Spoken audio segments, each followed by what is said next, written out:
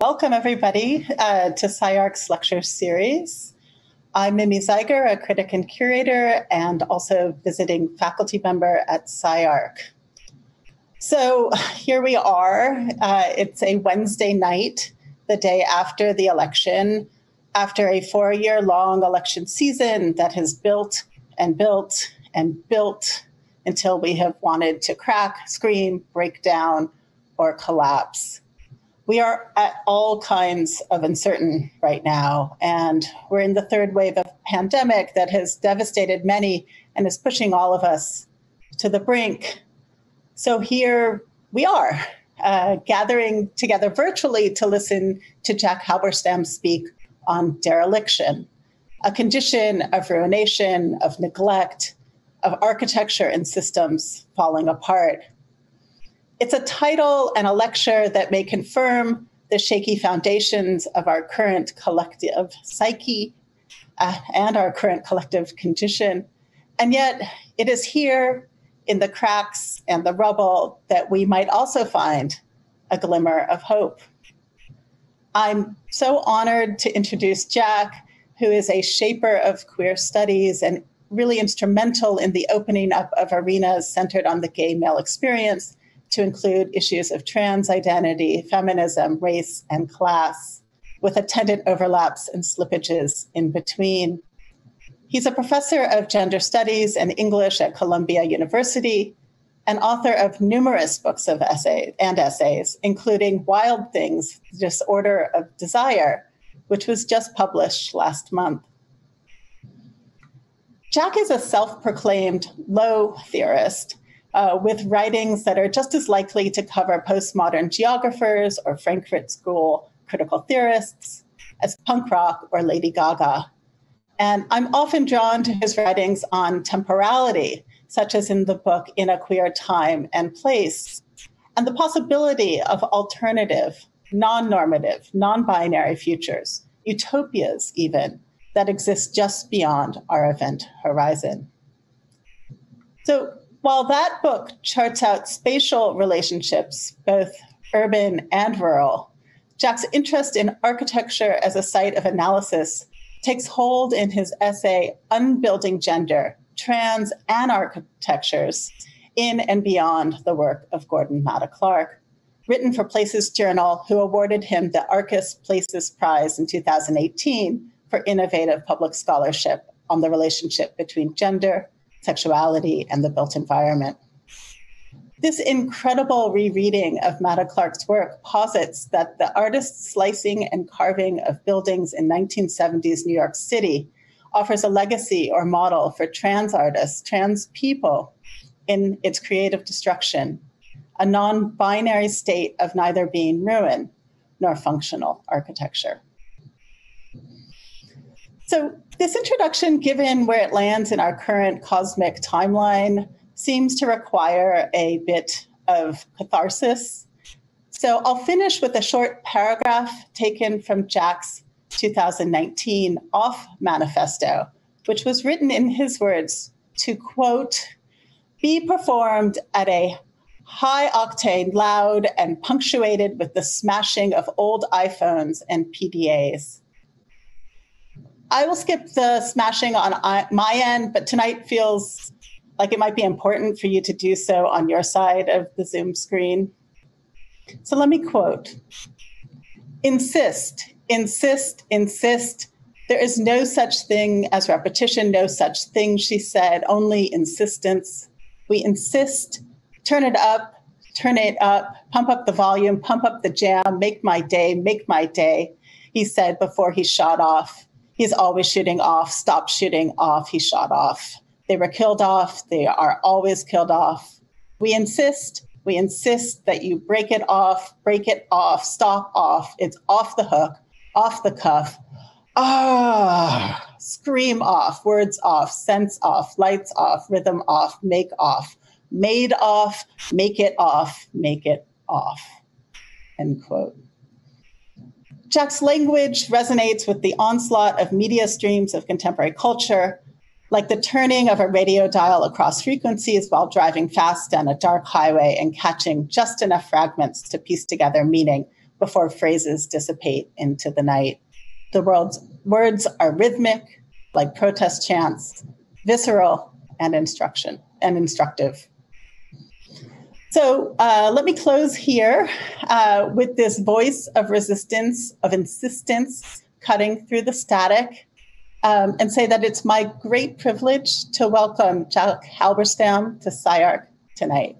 Thank you so much. Oh, wow. Thank you, Mimi. That was uh, an absolutely beautiful introduction. Uh, I'm just thrilled.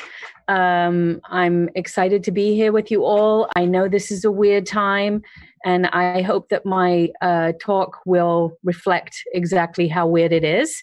Um, I'm just going to get ready to share my screen here.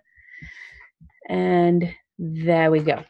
Okay, so yes, this is a really weird time. I was thinking um, yesterday as I was preparing for the talk, did I consider the fact that it was the day after an election when I uh, either agreed to do the talk this day or suggested this day for the talk?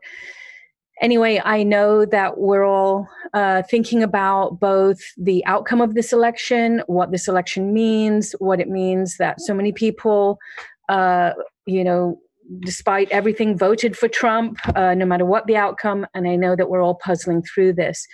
As we do, I want to offer a reflection on the bankruptcy of the moment that we're in by pushing us back to the 1970s to a very, very different temporal frame, to a different political moment. On behalf, why do I want to do this? On behalf of producing a new vocabulary for transformative change in an era of stalemate, compromise, and environmental decline. And while the talk is absolutely, as promised, going to be on destitution uh, and dispossession and other things, the title of my talk tonight is Nothing, because I'm actually going to try to convince you that nothing is what we need to do. And there it is again. So, in this era, and on the other side of a tense and strange election. I hope that you agree with me that this is a moment for trying to develop new angles on power change. And what I'm going to explore in this talk, developing my work on Gordon Matta Clark, um, the exercise of world unmaking. And some of my thoughts about destitution and world unmaking are in sync with a recent manifesto by the anonymous group, the Invisible Committee, out of France, who, in a new manifesto, came out maybe two years ago called Now. They have a whole chapter um, uh, on destitution, and they argue in that chapter that it is only from the destituent point standpoint that one can grasp all that is incredibly constructive in the breakage. So we're going to dig into this idea of breaking and wrecking, unbuilding and unmaking to see what it is that we can um, gain from thinking in those terms. Now, um, the truth is that um, earlier moments in queer studies were deeply invested in utopian projects of what we then called uh, world making. Um, and I want to break actually from that tradition in order to investigate what I will call an anarchitectural strategy um, of how we should unmake this world, this world that we currently inhabit. Um, what is this world that we currently inhabit? It's a world lousy with human uh, animal viral transmission that has been caused by humans trespassing on um, animal habitats. It's a, a, moment that is, you know, uh, full of global capital accumulation and forms of domination that have returned as authoritarian leadership it's a time of real estate domination and predatory lending. Pick your poison, really, in terms of this uh, real estate uh, domination. And in this mode of domination, people become convinced that freedom will be theirs through property. And then, ironically, go into debt bondage to realize a dream that turns out to be a nightmare.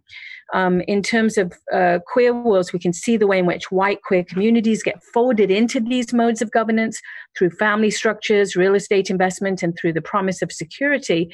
Um, and then this, in turn, reduces the possibility of queer oppositionality at a moment of extreme peril. So you can see that there are, there are so many reasons to think about unmaking the world and very few reasons to continue with this propulsive forward momentum where we keep just doing it you know to quote nike we keep doing we keep owning we keep investing. Um, instead I want to um, back away from the idea of a built utopia and explore and experiment with the idea of not just unbuilding, as I've been saying, but not owning, draining value out of sites of possession, and then queerly inflecting these strategies by thinking about them alongside the experimentations that happened under the heading of anarchitecture in the 1970s. So, what would we oppose ownership to? Dispossession, I'll argue how would we replace the notion of development through demolition? Uh, what would replace profit? Nothing. Um, and we can also we can go on and on with that chain of associations. Look into the way in which intimacy industries today have replaced cruising and so on, and think about how to bring back some of the erotic energy of cruising. Um, in this talk, I'll try to get to some feminist fantasies of anarchist rebellion that are less focused on, on simply on cruising, more interested in violence. Um, and throughout the talk, I want to develop an offer for you a politics of nothing. I will advocate for nothing. I will offer nothing. I will speak of nothing, and I will ask you to embrace nothing with me on behalf of what you will see is an empty handed future. So, to proceed, let me, as is my want, move through a series of examples that I hope will unpack for you both the politics of nothing, the uh, activities that gather under the heading of dereliction, and the politics that can be um, uh, perceived through the idea of dispossession. Just because of the season, um, and that's just a, a, hint of what is to come in terms of looking at the collapsing architectures of the piers in New York City in the 1970s, where Gordon Matta Clark carried out his uh, wondrous cuts into the crumbling piers, and where um, Alvin Baltrop took pictures of cruising young men against uh, the, the framing of these buildings as they came down. But I want to start just to be very topical for the moment with what I think is a, an anarchitectural uh, performance um, that was went under the heading of campaign. And I just thought this would be appropriate for tonight and would dig into why we might want to back away from this earlier moment of queer world building um, and dig into the concept of nothing. And I'm hoping that this first example will make clear the politics of doing so. So in 1992 and 1996, a black uh, uh, drag queen from San Francisco, uh, Joan Jett Black, ran for president. And her whole project was called Camp Pain. This was, you know, how she understood her run for the presidency. Um, she ran in 1992 under the slogan of "Lick Bush" in 1992, and then her, she cast Clinton and Bush at that time as two sides of the same coin to which she claimed she offered an alternative. Um, she even slipped into the Democratic National Convention uh, in 92 in boy drag and then went into the bathroom, changed into drag queen mode, and announced her candidacy on the national stage before being dragged off. It's an amazing uh, spectacle. She wouldn't be able to do it today, no doubt.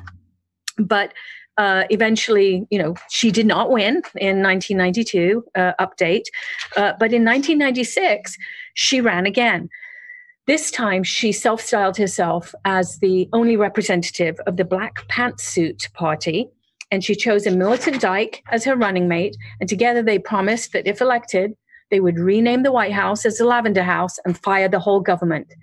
If that doesn't appeal to you right now, I really don't know you know how to go on uh, i find that whole concept to be amazing as while looking at cnn um, but what was the campaign? What was the campaign that Joan Jett Black ran?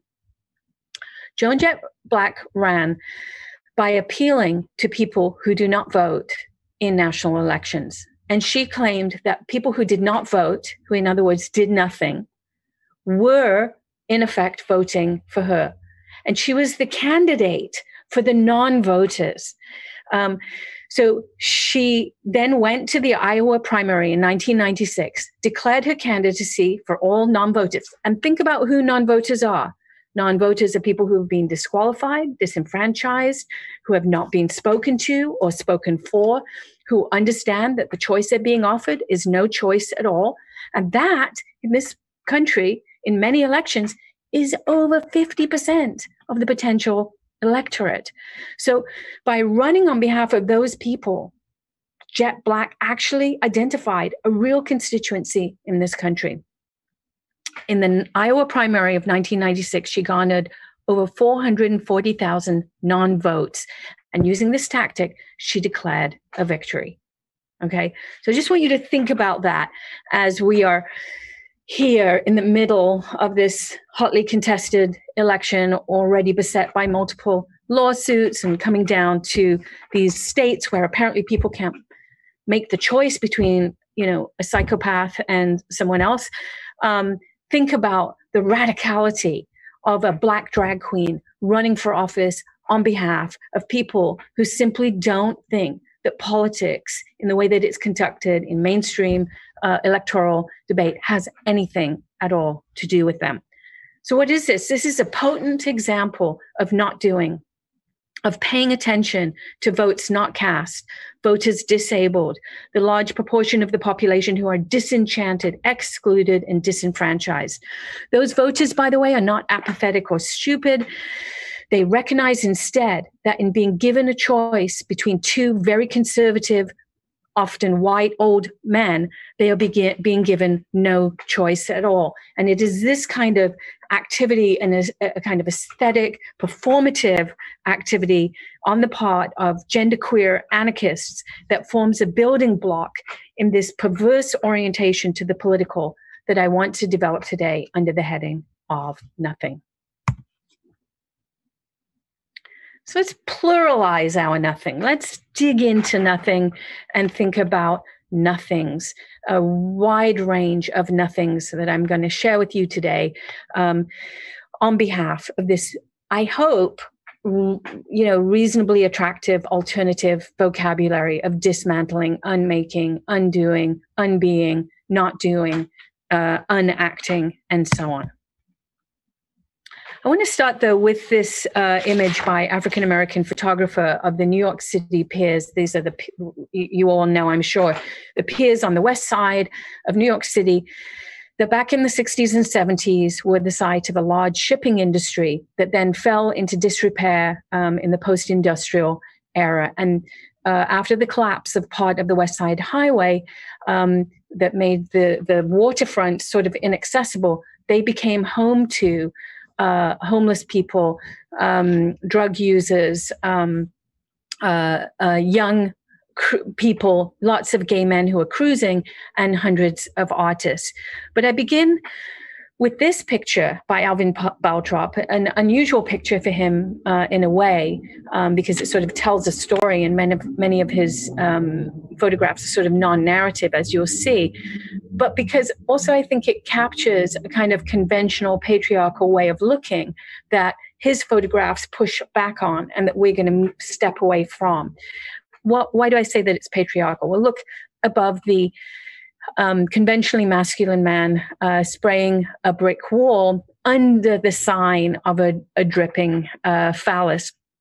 Um, he sets up as an artist, spray painting or in some way leaving his mark, pulling together the strands of ruins, of the ruins within which he finds himself, in order to try to make something out of their unraveling. And my argument today is that we actually need to leave ruins as ruins, stop trying to make them into something and leave them as nothing. What we're going to do is sort of disappear, if you like, through that hole that has opened up in the middle of the photograph, a frame within a frame, framing what? Nothing, space emptied of humans, um, open, uh, to light, teeming with what Jane Bennett calls the vibrant matter of non human uh, activity. It's empty space framed by collapse, uh, it is ruination, it is space that we catch a glimpse of through the anarchitectural uh, cut. And what what we might say here is that this is a space of nothing that artists who came here looking for something bumped up against and made their own. Um, Baltrop himself often looked way past these uh, conventional masculine bodies and instead looked beyond them, as you can see in this image, beyond the two figures to the piers themselves. The piers were his subject, far less the men who cruised uh, within them. And I'm super interested in this idea of the, the gay black photographer who goes to the piers. He, he often hung from a rafter, uh, sometimes alongside Gordon Matta Clark, who was doing his own work in the piers at that time. And using his camera voyeuristically, he took pictures of gay men, but from such a distance that the human bodies are turned into mere specks, and no amount of sort of squinting uh, will tell you what exactly is going on between uh, these two men. Um, so it's like a Turner painting, if you like. The human figures have been reduced to tiny little dots that have been completely swallowed up by the visual and architectural drama around them. And that is uh, the, the real topic of Baltrop's work. He, instead of centering the human, he's interested in the architecture of the piers and the unraveling of the piers as they begin to uh, collapse. The humans are often uh, off center uh, um, or just part of the uh, furniture in the room, only recognizable as humans if you really um, pay attention. Um, he, they're often minuscule, suggesting um, a new frame for the human, one in which the human is completely dwarfed by this architecture that is itself holds its, within itself a kind of eros. And I wonder what would happen if we paid attention to the eros of the architecture, separate from the fantasy that we project onto it around these uh, bodies engaged in various uh, sexual acts. So finally, in relationship to this, and this is one of his most famous photographs. Um, no humans. There, there may be humans in here somewhere, but we can't see them. And this one, he actually he gave most of his works no title and no date. Uh, he probably never expected his works to be uh, published or viewed. He had very few shows in his lifetime and only sort of gained fame posthumously when Douglas Crimp um, paid attention to his work and wrote about it. But Crimp himself was mostly interested in the images of gay men cruising and missed the real drama of what Baltrop called the collapsed architecture. And this collapse, I think, is the topic of his uh, gaze. It's a collapse um, that is not simply you know the, the, the sort of nostalgia uh, for ruins but that suggests new geometries of bodies materials gravity and entropic force that oppose the developmental narrative that adheres to the human. So by taking the human out altogether, we're left with this non narrative of collapse. Okay, so many of his images also you'll notice lean, and there's definitely a lean here. I'll return to the leaning uh, nature of the collapse uh, later on, but they le- lean towards nothing, right? That's what it means to collapse in a way, is to lean in to open space and, and fall into space. Um, and in that way, we're looking at the the the falling rather than um, a site for presence and spatial formation. So when I was, you know, looking over Baltrop's work, um, I realized that what's drawing me to the 1970s and to these sites of ruination is very similar to what drew um, Jose, Jose Munoz, in his book Cruising Utopia. Um, he also was engaged in a kind of utopian earning, yearning for something that cannot appear except in the form of nothing. And this is what he says. He says, This performative insistence on the nothing, the not there, over the presentness of the happening, what is there, is both queer and utopian. And that's what I want to explore uh, with you a little bit the utopian dream uh, of nothing. Um, Munoz uh, joined his interest uh, in the piers and in the sexual activity in the piers to a whole archive of avant garde queer cultural production that you'll find discussed uh, in this book, including work by uh, a, an artist from the Black Mountain uh, College, Ray Johnson, who had his own take uh, on nothings. Um, and Johnson often held uh, nothings. Um, and they were sort of in opposition. They were anti performative events, which were, according to Munoz, minimalist, as Munoz puts it, in comparison to the overabundance that was associated at the same moment with happenings. So if Allan Kaprow was sort of choreograph the choreographer for these happenings that so preoccupied people in the 1960s. Johnson offers a kind of opposition to the happening by staging nothings. And these were sometimes performative events where he did not show up or where he did, but nothing really happened. Um, but he claims uh, himself, you know, this the inhabitation of this space of nothing as uh, utopian. Munoz uh, himself wants to go with that reading of Utopia, um, but in the end, he veers away from it and seeks the reparative route. So he writes Queer utopian practice is about building and doing in response to that status of nothing that has been assigned to us by the heteronormative world. So he's interested in nothing, but in the end, he wants to go back, Munoz, to building, saying what? Saying, that queers have been assigned the value of nothing in the society in which they appear. Um, so what we have to do is sort of take on that nothing and make it something. And this is where I would part ways with Munoz and caution against the reparative gesture and ask whether we can stay with the nothingness, have the discipline to tarry with it in favor of digging into nothing and resting there in the minimalist non-space that it offers, offers the nothings rather than the happenings, the, the not showing up as opposed to the being together and then creating these uh, fantasies of community and so on. Now, just to finish this out on Munoz, Munoz himself, in a chapter that sort of in a way departs from this arc that I've just outlined in Cruising Utopia, where we take the status of nothing that's been to, assigned to us as queers and we make something out of it. Munoz, in a, an amazing chapter on Fred Herko, actually leans into nothing and finds a different kind of utopia. And in a jeté out of the window in Cruising Utopia, he writes about the staging uh, of Fred Herko's final performance um, as uh, a suicidal leap out of a friend's apartment um, uh, in the West Village. And I won't go into it, but Munoz uh, frames this whole leap as part of a kind of surplus value within capitalism, a wasteful gesture, one that opposes a heroic leap that um, Yves Klein's doctored leap into the void uh, that that was supposed to be like flying and inspirational and heroic and about risk and about transcendence and so on. Herko's leap, on the other hand, uh, was the perfect aesthetic gesture, uh, but one in which there was no safety net. He he flew, and he flew so far that he landed out the window on the other side uh, of the street. Herko's leap, which Munoz calls, uh, and this this is Herko again, and this is the building uh, out of which he jumped.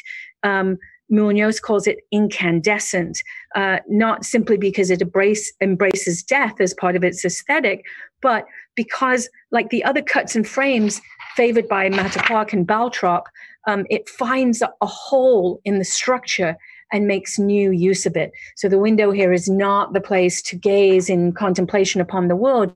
It is the the space, a portal, if you like, through which to move in order to access a completely different uh, world altogether. So this world in which Ray Johnson staged nothings, Alvin Baltrop photographed collapse, um, and uh, a, a perverse dancer leaps perfectly out of an open window by the way, is a world that we can barely imagine anymore. And I'm sitting here in New York City looking across at buildings that are a testament to the complete rebuilding that has happened uh, in the 50 years since um, Matta Clark, for example, made his uh, gorgeous uh, cuts um, in Days End in the piers. Um, in the 1970s, buildings were collapsing rather than going up all night. Entire parts of the city were abandoned, um, and no police went there. And in fact, one way to think about the piers is the alternative to the Stonewall Inn. This is the place of these quiet daily rebellions rather than the one spectacular rebellion that people uh, favor. It is a place where art by David Wojnarowicz and Keith Haring and others uh, w- was carried out uh, absent an art market upon within which it would be sold. Um, it was also the backdrop for some mind blowing punk girl films that I'll try to get into towards the end of my talk Times Square and Burning. Burn in, Born in Flames. Um, the piers, in other words, were an object lesson in how to unbuild the world. Okay, so I just want to um, think more, a little bit more about collapse and this collapsing architecture uh, that Alvin Baltrop um, uh, created. And his work is, uh, you know, it's often written about um, in the in the wake of Douglas Crimp's um, excellent essay on Baltrop again, very much to just keep digging into the idea of these sexual subterranean worlds, much in the way that Delany does in Times Square Red, Times Square Blue. Jonathan Weinberg's book, Pier Groups, also uses Baltrop's work in this way. And while most of the commentators do talk about these collapsing architectures, uh, they remain focused upon uh, gay male cruising as a real activity in the work. And in that way, they remain in this image and they ignore some of these kinds of images um, that to me are spaces of meticulous and beautiful processes of collapse. And you'll notice in this picture, this is again that, that incredible scale that Baltrop uses where you're, you, you cannot believe what you're seeing. There's that leaning that I talked about earlier. The whole building very much like Gordon Matta Clark splitting, is leaning back on itself. Um, the, the whole architecture sort of tumbled in place, and you can see other New York City buildings behind it. But in the foreground, just above the title, The Piers, there are two men having sex turned away from each other, almost as a, an illustration of Bersani's notion of self shattering, of the self shattering nature of sex between uh, two men where it's not at all about intimacy or looking into each other's eyes. It is about looking beyond the other and looking beyond the other to see this collapsing, sagging, leaning, falling uh, architecture. Um, the body in Baltrop's work is either minuscule or it does not appear at all. And here's another one of these incredible sags leaning, uh, sagging, leaning structures. That this one looks as if it's going um, right into uh, the Hudson. Um, but bodies too lean into the building. It's not just that the building houses men um, going, walking around looking uh, for, you know, hustling for business or looking for sex, but the building itself is of interest um, to the men in it. And a lot of the shots are candid shots of um, partially naked men engaged with the architecture um, itself. Sometimes they're actually severed at the waist, and there are quite a few of the images in which you don't know if you're looking at a body at rest or a dead body, um, bodies that appear as sort of discarded uh, waste. Um, and I think that these and there's an, another one of these slanted images. It's like you're always sort of caught off kilter. You feel as if you're going to slip off the surface of the photograph. Uh, it's almost like a um, this one is almost like a a, um, a ship, as if you're on a, a ship. And Baltrop had been in the navy, and maybe that was what he was trying to capture: is the uh, the sort of tilted quality of the ship in the relationship to the water. And it's a nice way of thinking about perversity as a kind of tilt, um, a tilt, a disorientation. Um, I think that one way that I like to think about this work, and this is why I push back on only reading this in relationship to the naked male bodies uh, engaged in sexual acts within it, is that Baltrop is in a way offering us an anti-patriarchal scene of detumescence. So I would just sort of, um, I mean, and here's here's another one: absent uh, human activity or whatsoever, but with the writing on um, the door saying, watch out for pickpockets, which is such a hilarious um, uh, kind of graffiti in this tumbling, ruined, collapsing world of hustlers and um, drug dealers and so on. But I think about this work in opposition to uh, the phallic pneumatic inflatables um, of the last few decades. Witness Jeff Koons' uh, ever erect uh, puppies that to me are uh, a an analog um, to uh, the architectural investments the in uh, real estate um, real estate that in many ways is just for profit and has nothing to do with housing humans uh, whatsoever.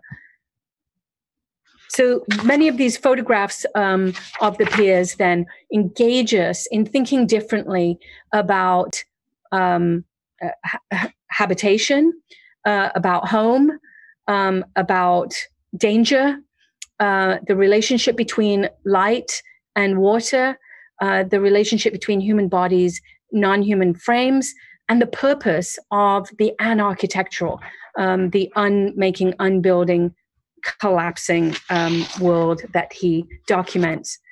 Not a few of his works capture Gordon Matta Clark's anarchist cut par excellence, Day's End. Um, and this cut is so great to think with uh, in relationship to Muñoz's disappearing horizons in Cruising Utopia, but also in our moment to think about a conjuring of apocalypse or end times. That in, it's almost like a message from the past that arrives today, um, telling us uh, in this moment that we have arrived somehow at day's end. Let me stop and think about Matta Clark for a moment with you. And um, I've written a lot about splitting and Day's End. Uh, and instead, here, uh, and on, on behalf of a collapse that should and could be about a real estate collapse, I want to focus instead on Matta Clark's um, project, Fake Estates. And this was um, a work that was, you know, one of his conceptual works that had almost no uh, visual beauty to it whatsoever, and that was aimed at revealing the fictional quality of real estate in the hopes of sort of unraveling the speculative um, uh, fiction that real estate unspools for us. Um, it was a critique of real estate privacy. It was an exposure of the ruse of improvement as just simply the beginning of gentrification and it was a critique of the deep investment in ownership um, upon which capital and neoliberal personhood depended then and have reached a kind of apex uh, now. So, what were fake estates? In 1975, Gordon Matta Clark purchased, just see how we're doing for time here. In 1975, Gordon Matta Clark purchased 13 parcels of land in Queens, New York, that had been deemed gutter space or curb property and put on the market for $25 each. Um, these properties were sort of cast as surplus land and they were parcels uh, of space that basically lay between residential and commercial property and was just owned by no one. And so the city decided to try to sell them.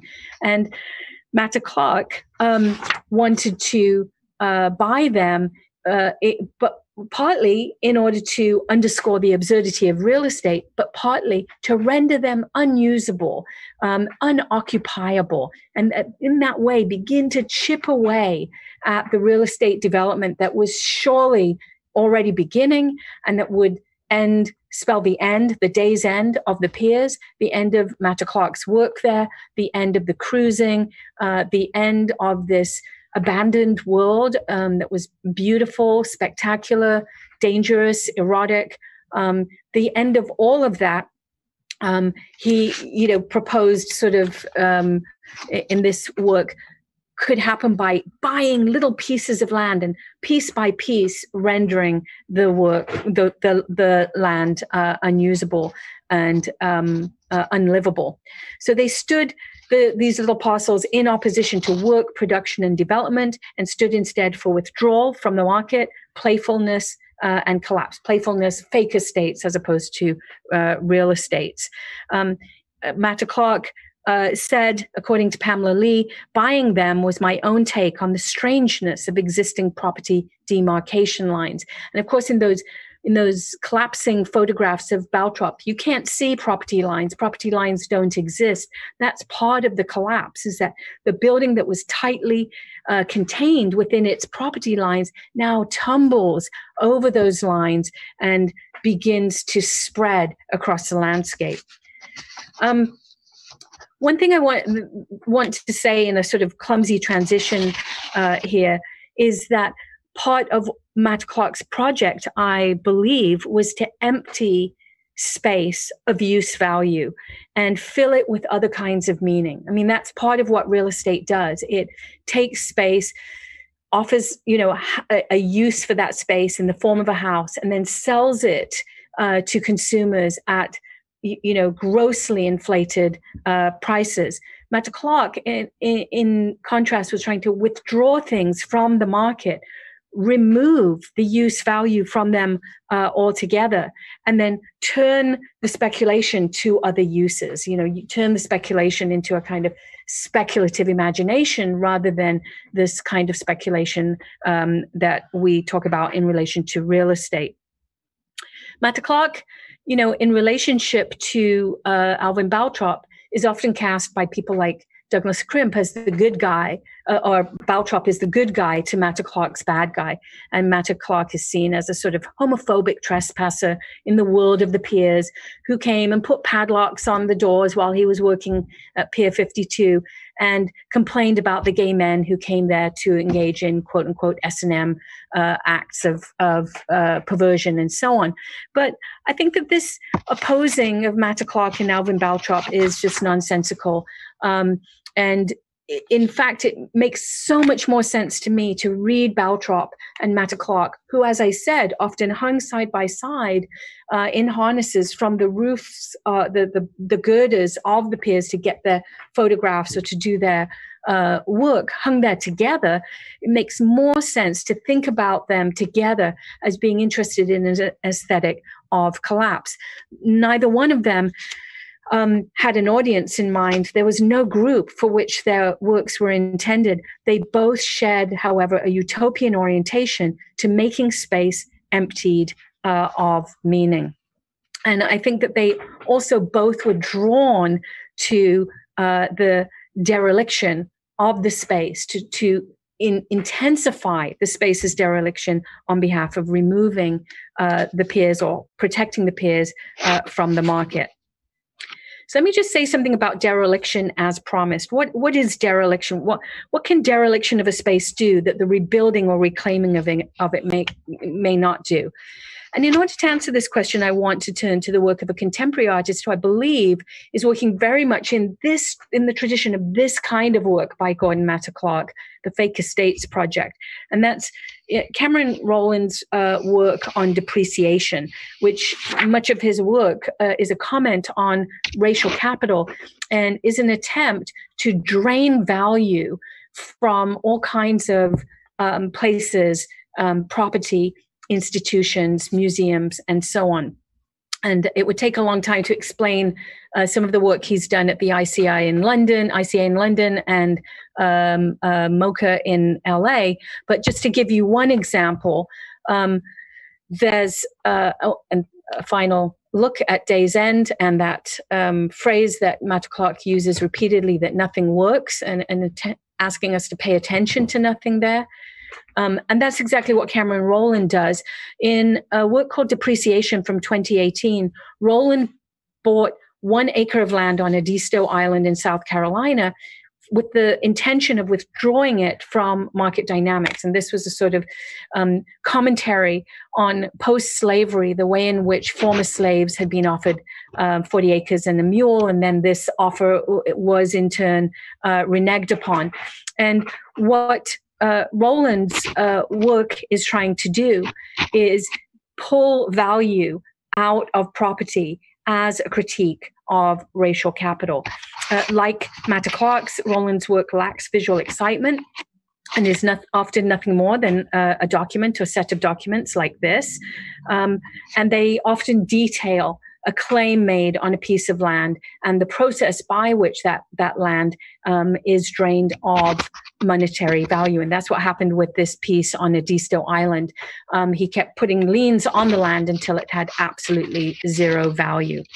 Um, and it's these, these gestures, draining value from a land, uh, making a cut into a, uh, a warehouse that's anyway going to be torn down, looking past the bodies of men copulating to see the collapsing architectures. These are um, the gestures captured in Johnson's uh, Nothings. These are the gestures of the cuts of Day's End. And these are the real site of sort of anarchic, uh, unruly unmaking, um, not the gay men cruising.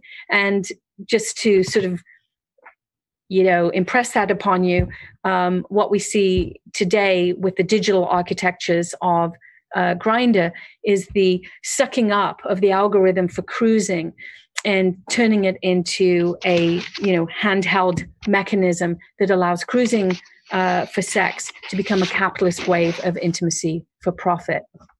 But i won't end with that. Instead this i want to end this section uh, with David Hammons's homage to Gordon Matta Clark, um, uh, which is soon to be realized across from the Whitney Museum as a minimalist framing of air and sky, a repudiation of Grindr and use value altogether in favor of emptiness. Okay, so I want to try to close then, um, and I don't have enough time to do this well, but just I'm going to just point out that I would be remiss if I simply talked to you about uh, gay men and gay male cruising and gay male photographers and straight male and architects. So I want to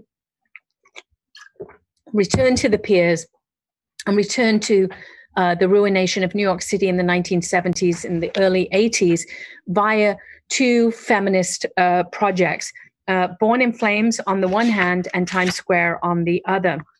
And this is just to say that while all of this activity at the piers went on almost without any consideration of female bodies and the you know it was quite dangerous to go to the piers and many people have said uh, including female photographers who went there and took uh, images made made work that often they went with male partners um, because the piers were considered so uh, dangerous but this film born in flames by uh, lizzie borden is a, a film about female solidarity in a post-revolutionary uh, world. It's an incredible uh, kind of piece of speculative imagination of the kind that we're opposing to speculative real estate, in which um, the women uh, are part of a women's army that, in the wake of a socialist revolution, is still agitating for a whole set of queer and feminist demands. And as you can see from the images here, the women are willing to use violence to get their demands uh, met. And I encourage anyone who hasn't seen Born in Flames to go and look it, look, watch the film. I'm actually not going to play um, the clip because I don't have time. I'll play you another clip from another film that focuses specifically on the piers. Um, but I do want to say that the film emerged out of the exact same conditions that spurred on Gordon Matta Clark and that drew Alvin Baltrop's uh, camera fiscal restructuring, reorientation of the city uh, within a new neoliberal regime, um, a sense that um, everything was crumbling and now was the moment to kind of take advantage of it, um, but also a sense that in the abandonment of the city, in its ruins, it was women with children, uh, communities of color, and queers who were being uh, abandoned. And this film tried to think about coalitions of women who would band together and um, make their presence felt.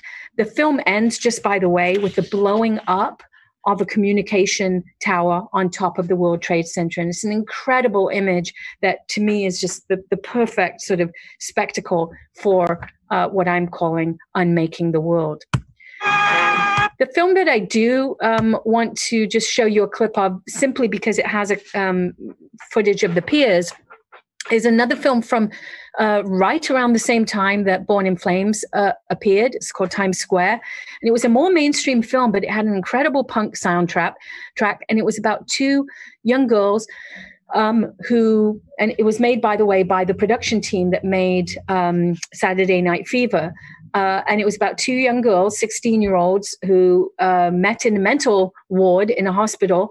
Um, and the Ramones, I Want to Be Sedated, escaped from um, the hospital together and went off into New York City uh, to defy parents and social workers and uh, and so on, and to get lost in the gritty, dirty city in search of something more than uh, what their parents or social workers had in mind for them. And one of the, interestingly, one of the girls is the daughter of the mayor's um, uh, development officer who's gentrifying the city. And she and Nikki, the butch, who you can see here, um, sort of fall in love and go to the piers to make uh, a home for themselves. It is in this clip that I think you realize a different kind of potential in the piers.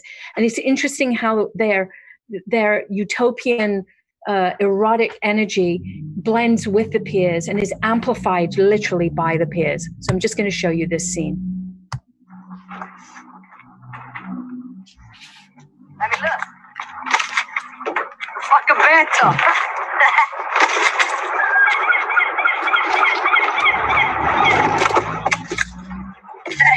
back porch.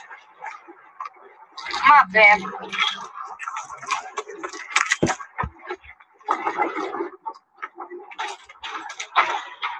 Now I see. Why didn't I realize it before? God, now I see it. Don't you realize this is it? This is the place. Show you. Watch this. Hey, blood. Now give me yours. Come on, don't worry. I ain't gonna hurt you. Just relax. See? That's all. Now, I want you to listen to me. You ever feel like freaking? You get panicky, shaky? I want you to call my name. Just scream it. Scream it as loud as you can. You know, like this. Perry! Perry! Nikki! Louder. Nikki! Perry! Nikki! Perry! Nikki!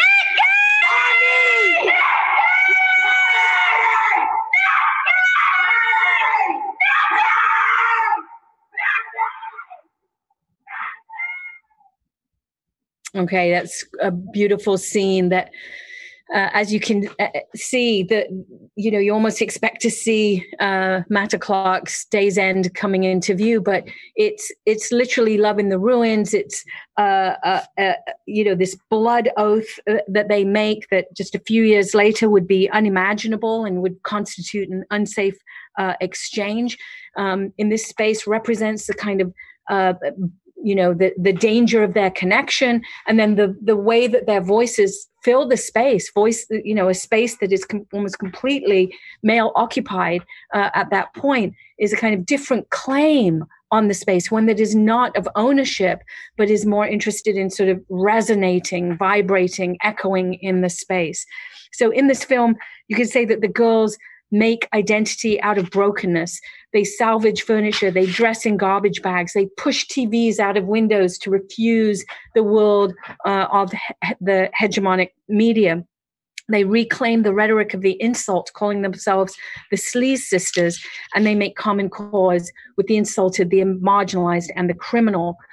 This is a history in the unmaking. It's a world that spins back on itself, echoes within uh, the collapsing architecture to tell history in multiple takes through the broken, collapsing landscape of an architectural ruins.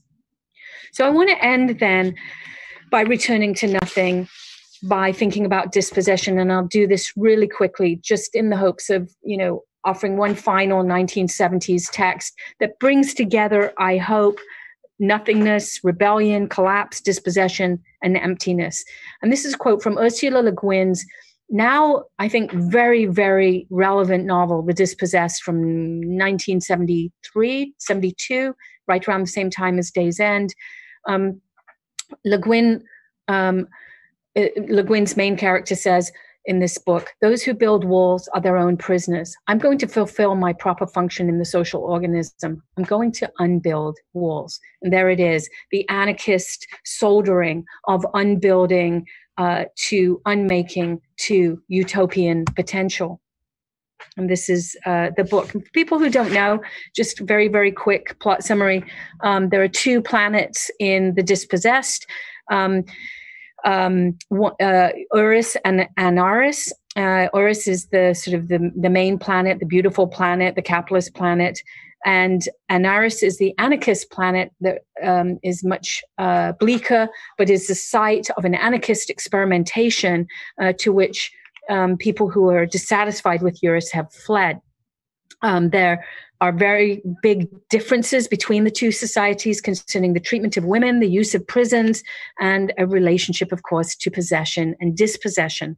Shevek is a physicist, uh, an anarchist physicist, and he's being flown uh, to the capitalist planet in order to share his research with some scientists there. When he gets to the capitalist planet, he's seduced immediately. He can't believe that he has privacy. He owns his own intellectual property. He accesses drink. He has mm, access to sex and uh, uh, parties and consumption and clothes. And he kind of becomes intoxicated with capitalism, if you like. But it quickly wears thin for him. And towards the end of the novel, a underground rebellion uh, is forming, and the rebellion, um, the rebellious group, gets in touch with him, and on behalf of their fight for freedom, they ask him to come and address the crowd as an anarchist from the planet of Anarres. So he comes to the protest and he offers this speech. We know that there is no help for us but from one another, that no hand will save us if we do not reach out our hand, and that the hand you reach out is as empty as mine is. You have nothing. You possess nothing. You own nothing. You are free. All you have is what you are and what you give. Okay, so in this speech, a speech that I wish a politician in our era would speak, a speech, however, that would not be out of place in the work of Cameron Rowland, um, the artist who is draining or leaching value out of land in order to point to the dynamics of possession that are our inheritance from slavery. Um, these, this is a speech that you could imagine, um, you know, coming to us through the work of Gordon Matta Clark and Alvin Baltrop. It is a speech that lays out the principles of dispossession that involve only the only debt and this is an echo now from Moten and Harney, the only debt we have is to each other. Uh, a law that exists only in the principle of mutual aid, a way of being that involves sharing, not owning, an orientation towards dispossession that requires the destitution of everything that makes up capitalism.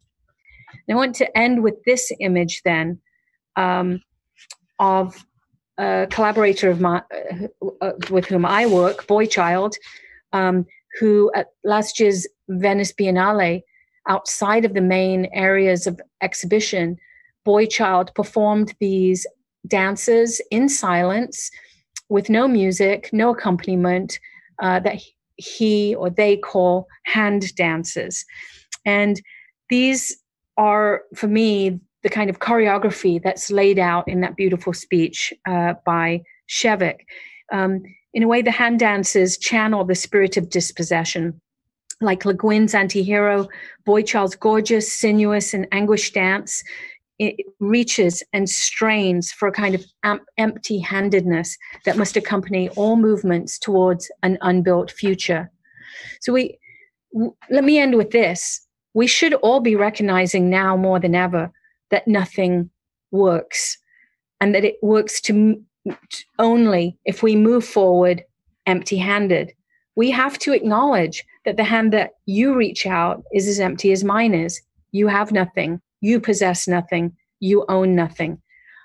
Only in that moment of empty handedness, when we have nothing, will we finally be free. Thank you.